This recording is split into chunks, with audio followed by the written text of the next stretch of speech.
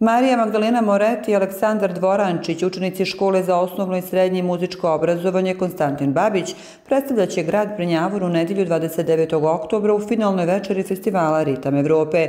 Dvoje mladih Prenjavorčana u dueti spojila ljubav prema muzici i evrovizijska pjesma Arkade sa kojom je predstavnik Holandije pobjedio 2019. godine. Marija je učenica drugog razreda srednje muzičke škole na ocijeku solo pjevanja, svira gitaru i klavir. Aleksandar je učenik završnog razreda razreda ocijeka za muzičkog izvođača, smir harmonika i dodatno svira klavir i gitaru.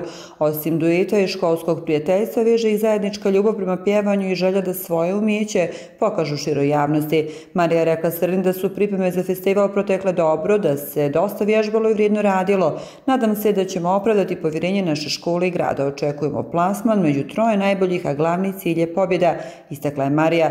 Aleksandar je pojasnio da su tokom proba sa njima radili profesionalci i da do sada dosadašnji dio priprema opravdao sva njegova očekivanja.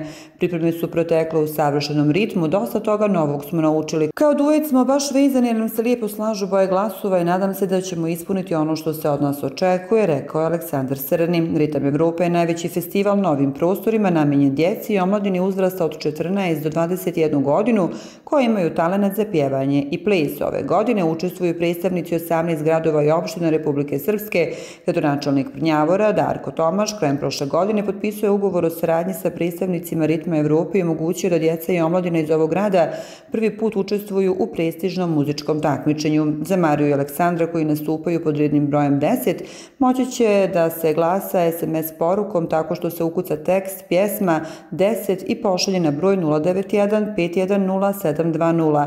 Kraj poruka koje se mogu poslati sa jednog broja nije ograničen. Učesnici koji na završnici u gradišci zauzmu prva četiri mjesta kao i grad domaćin, putuju krajem godine u Sjevernu Makedoniju na regionalno takmičenje koje će biti održano u Strumici.